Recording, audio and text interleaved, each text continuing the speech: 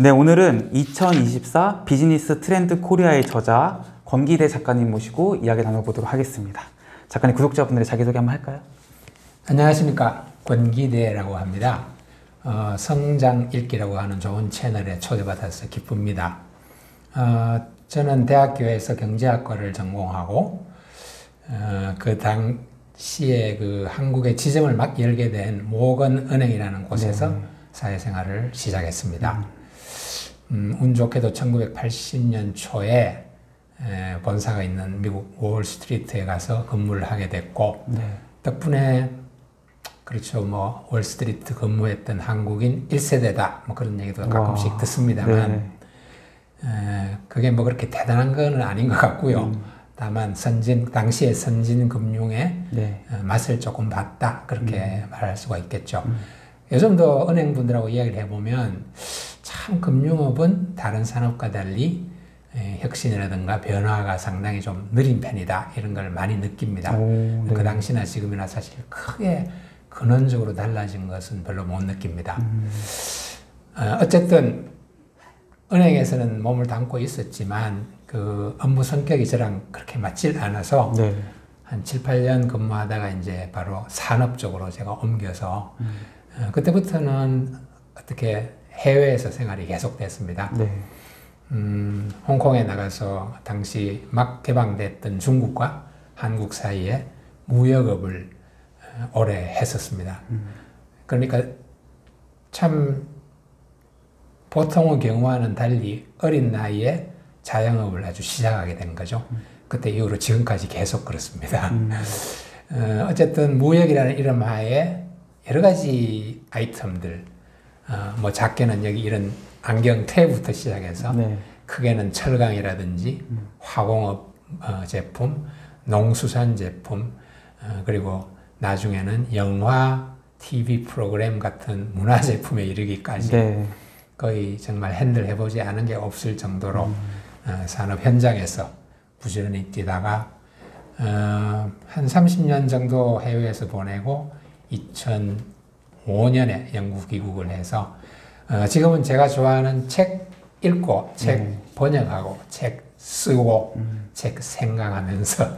살고 있습니다. 어. 네. 아 제가 그 작가님의 그 이력을 보고 놀랐던 게 네. 아니 그렇게 이제 어떤 월가에 계시고 또 이제 해외를 돌아다니시면서 여러 산업을 핸들링 하셨다고 했잖아요. 그렇죠. 아, 근데 이제 한국에 영구 귀국해서 하신 일이 사양산업이라고 볼 수 있는데 출판업에 뛰어드셨단 말이죠. 네, 어떻게 좀 보신 거예요? 사양산업이라고 하면 어, 무라카미 하루키 같은 사람은 대단히 싫어할 겁니다. 네. 종이책은 영원하다 그렇게 음. 말하는 사람이니까요. 음. 어쨌든 그 전에 제가 했던 일이 일종의 중개업이기 때문에 네. 제가 할 수 있는 일이 별로 없었습니다. 음. 만드는 사람과 음. 사는 사람 사이를 그냥 연결시켜주고 음. 어, 모든 결정은 그들이 하고 음. 내가 내리는 결정은 없는 그런 상황이 되기 싫었어요. 음. 그리고 그런 종류의 중개업은 미래가 좀 불투명하죠. 네. 어, 아니나 다를까 지금은 뭐 거의 소비자들과 생산자가 정말 거의 직결되다시피 하는 그런 그쵸. 사회가 되지 않았습니까? 네. 그래서 저도 일찌감치 돌아 귀국하면서 생각했던 게 내가 직접 뭘 만들어서 소비자한테 이렇게 present 하는 거는 음. 없을까? 음. 그런 생각을 많이 했었어요. 네. 그러던 중에 비교적 적은 돈으로 시작할 수 있는 것이 아, 출판업이다. 음. 이렇게 이제 결론을 내렸죠. 네. 쉽지는 않았습니다. 초기 10년 정도는 굉장히 애를 많이 먹고 음. 책이 안 나가면 뭐 생존할 수가 없는 게 그쵸. 현실이니까. 네. 네. 그러다가 이제 어느 정도 이제 자리를 잡고 방향성도 음. 아 실용 서적을 해야 되겠다 네. 하는 쪽으로 방향성도 잡고 음. 이렇게 하다가 이제 결국은 어, 좋은 때도 만나고 음. 어, 매출도 많이 오른 적도 있고 네. 그렇게 해서 지금도 계속을 하고 음. 있습니다. 이제 베가북스가 이제 어떻게 보면 경제 경영을 대표하는 출판사가 됐잖아요. 예. 이제 어떠세요? 실제로 해보니까 이 출판업에 이제 우리나라 사람도 책도 안 읽는다. 뭐 1인당 도서 구입비가 많이 떨어진 이런 얘기도 하는데 실제 현장에서 부딪히시면서 느끼시는 게 혹시 있으실까요? 이제 아까 제가 어릴 때부터 젊었을 때부터 이제 자영업을 일찌감치 시작했다 이런 얘기를 드렸는데 네. 사실 9 to 5로 직장에 다니시는 분들과는 달리 이 사업 혹은 자영업이라는 것은 그 업종이 뭐든 간에 한 절반 정도는 투기 성격이 있어요. 오, 네. 다시 말해서 운에 좌우되는 음, 그런 바가 굉장히 큽니다. 네. 그러니까 아무리 열심히 노력하고 공부하고 대비하고 준비했음에도 불구하고 음, 조금 타이밍이 틀려지면 네. 그냥 만사가 무위로 돌아가는 그런 일이 허다했거든요. 음, 또 반대로 그렇게 준비도 별로 안 하고 기대도 별로 안 했건만 네. 뭔가가 터져서 갑자기 엄청난 금액의 이익이 돌아온다든지 뭐 그런 일도 벌어지고 네. 아마 주식 투자하시는 분들도 비슷한 생각을 하실 거예요. 어, 열심히 공부하고 종목 선정도 정말 성실히 했건만 뭔가 다른 요소에 의해서 음, 어, 시장이 폭락을 하고 네. 손실이 나고 그런 건 어쩔 수가 없습니다. 음, 그러나 그것을 장기적인 시간을 좀 널리해서 생각을 해보면 네. 꼭 그런 건 아니다. 음, 어, 역시 어, 제대로 공부하고 준비하고 정상적으로 했는 사람이 이긴다. 음, 이제 그런 결론을 볼 수가 있죠. 네. 네. 어, 오늘은 이제 2024 비즈니스 트렌드 코리아의 저자로서 이제 모신 거니까 네. 아마 이제 코로나 시대, 팬데믹 시대에 이제 많은 분들이 베가북스의 경제 경영서로 공부를 했을 거라 생각이 들어요. 그래서 이제 베가북스를 이끄는 대표님은 이제 어떤 생각을 이 경제를 어떻게 보고 계신지 한번 여쭤보겠습니다. 일단은 중국 네. 사실 굉장히 가깝고 전 세계에서 경제 부분이 차지한 부분 굉장히 커지고 있잖아요. 또 네. 이미 크고 중국이 지금 경제가 좀 예사롭지 않은 것 같긴 하거든요. 그렇죠. 중국이 만약에 뭐 우리가 흔히 비유적으로 하는 기침, 감기에 걸렸다. 그럼 우리나라 어떻게 되는 건가요? 그 중국이 등소평 등샤오핑이죠. 네. 등샤오핑의 덕택에 문을 활짝 열고 개방을 한 이래로 아, 한국에 있어서 중국이라는 것은 사실은 축복이었습니다. 1980년대, 네. 90년대. 네. 안 그래도 우리나라는 대외 교역에 의존하는 바가 굉장히 높잖아요. 네. 근데 옆에 중국에는 대국이 그 많은 인구, 그 싼 노동력, 그리고 부지런하고 손재주도 나쁘지 않고 네. 이러다 보니까 일단은 공급원으로서의 중국이 우리에게 다가왔어요. 음. 거기 가서 싸게 물건을 만들어서 네. 제3국에 팔 수 있고 오. 나아가서 중국 내수에도 팔 수 있다. 네. 또두 번째로는 중국 자체가 크다 보니까 음. 그 내수 시장이 어마어마하게 커졌잖아요. 이제는 뭐 세계 최대의 시장이라고 해도 과언이 아닐 정도로 그런 세계 어, 대규모 시장으로서의 중국에 대해서도 우리가 의존한 바가 되게 컸어요. 네. 그러니까 양쪽 다 공급면, 수요면 음. 양쪽 다해서 우리가 중국에 에, 의존하는 바가 되게 컸고 아까 말씀드렸다시피 초기에는 그것이 우리에게 정말 축복으로 다가왔는데 음. 시간이 20년, 30년 흐르고 나니까 네. 그게 아니라는 것이 이제 서서히 드러나는 거죠. 음. 첫째, 중국도 이제 비싼 땅이 됐어요. 어, 네. 노동력이 싸지가 않아요. 전혀. 음. 둘째, 중국 자체가 기술도 좋아지고 제품도 나아지고 서비스도 좋아지고 하다 보니까 한국의 경쟁국이 됐고 어. 한국 제품이 경쟁력을 상대적으로 잃어가고 있는 거예요. 음. 그러니까 수출은 떨어지고 네. 공장은 자꾸 비싸지고 음.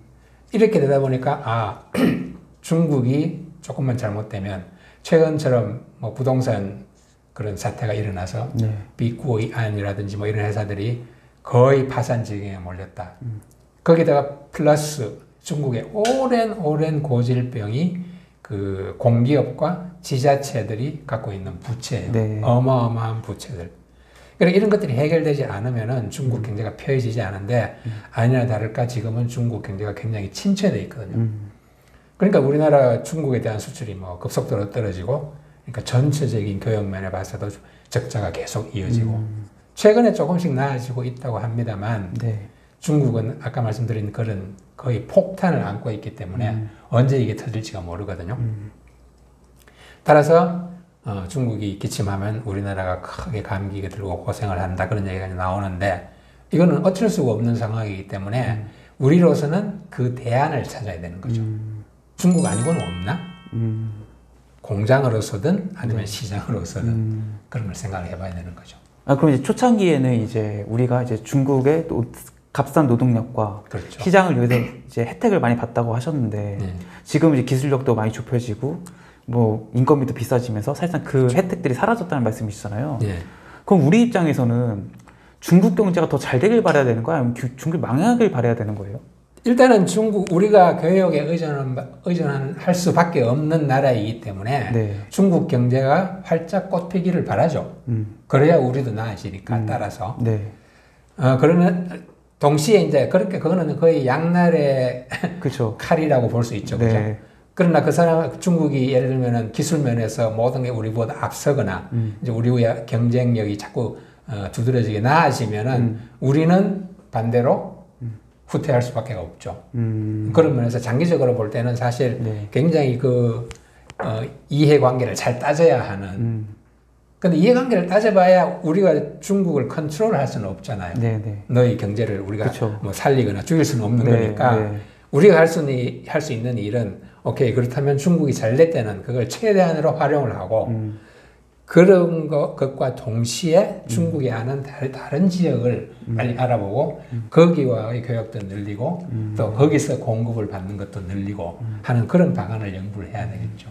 그, 그게 바로 이제 우리가 중국 의존도를 낮춰야 된다. 그렇죠. 이 말씀이신 거죠? 맞습니다. 그러니까 중국 의존도를 낮춘다라는 거는 이제 중국과 비슷한 다른 뭐 국가나 시장을 찾아야 된다는 말씀일까요? 그렇죠. 공장으로 공급원으로서든 아니면은 우리 상품의 시장으로서든 중국을 대체할 혹은 중국을 보완해줄 그런 어, 지역을 찾아야 된다는 거죠.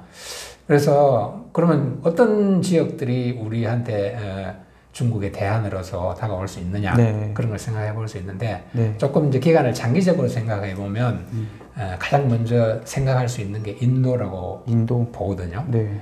그 인도 이제 뭐 어, 나중에 좀 자세한 이야기가 어, 나올 수 있겠지만 네. 인도는 일단 사이즈 자체가 중국과 거의 대등소이하고 대동소이하고 그 인구도 뭐 중국을 이미 능가할 정도고 그다음에 굉장히 젊은 나라고 네. 또 영어를 사용하고 있고 네. IT 기술 이런 것들이 에, 의외로 발달돼 있고 그래서 상당히 적합한 나라고 음. 또 시간을 좀 단기적으로 조금 줄인다면은 중국을 대체할 수 있는 그런 특히 공장으로서의 네. 어, 지역은 베트남이라고 볼 수 있고요. 베트남이 이미 많이 활용하고 네, 있어요. 네. 네. 활용하고 있고. 그다음에 또 지역적으로 조금 더 눈을 넓히면 음. 유럽도 유럽은 뭐 경제도 사실은 미국과 달리 좀 침체한 지가 오래돼 있고 음. 그다음에 그 지역 자체가 조금 뭐라 그럴까 나라 이름도 저- 참 대륙 이름도 구대륙이지만 네, 네. 낡아버린 그런 땅이잖아요. 네. 근데 거기에서 새로운 어떤 시장을 발굴한다든지 음. 혹은 공급선을 찾아낸다든지 이런 것도 대단히 중요하고 음. 그다음 조금 더 더 멀리 나가 보면 전통적으로 우리나라는 남미에 대해서 좀 뭐라 그럴까 너무 멀어서 그런지 소홀했다고 할까 그쵸, 예. 아, 그렇게 애를 많이 안 쓴 지역이거든요. 음. 남미도 이제 새로 한번 생, 다시 한번 들여다봐야 할 필요가 있죠. 그이 얘기는 우리가 중국 의존도에서 벗어나는 것이 가능하다는 말씀이신? 그건 당연히 가능하죠. 제가 볼 때는 중국 자체가 저렇게 이제 힘, 힘을 저 자꾸 잃어가고 중국도 굉장히 저출산 고령화로 고생하고 있다는 거 네. 아시잖아요. 네. 그러니까 우리랑 비슷한 그런 병을 앓고 있고 음. 그리고 이미 30년 동안 헛, 헐레벌떡 정말 얼마- 얼마나 많이 두 자리 수를 몇 년, 몇십, 십여, 십여 년간 계속했다는 것은 네. 거의 저, 정말 사례를 찾기 힘든 일이거든요. 음. 근데 뭐 십몇 프로씩 계속 5년, 7년, 10년 이렇게 성장을 해와서 이제는 지칠 때가 된 거죠, 말하자면. 음. 그래서 그걸 대체할 수 있는 시장은 우- 우리가 저 열심히 안 찾아봐서 그렇지 굉장히 많아요. 지금 중동 지역도 네. 예를 들면 어, 지금 뭐 하마스와 이스라엘이 저렇게 전쟁을 일으켜서 어, 문제가 되고 있긴 하지만 음. 사우디, 이락, 이란, 뭐 UAE, 어, 리비아, 레바논 이쪽 중동 지역도 굉장히 그 아직 저걸 충분히 들어가서 파헤치지 않은 땅이거든요. 네. 거기도 바, 바라볼 필요가 있고 음. 어, 여러 가지 방안이 있을 거로 생각합니다. 음.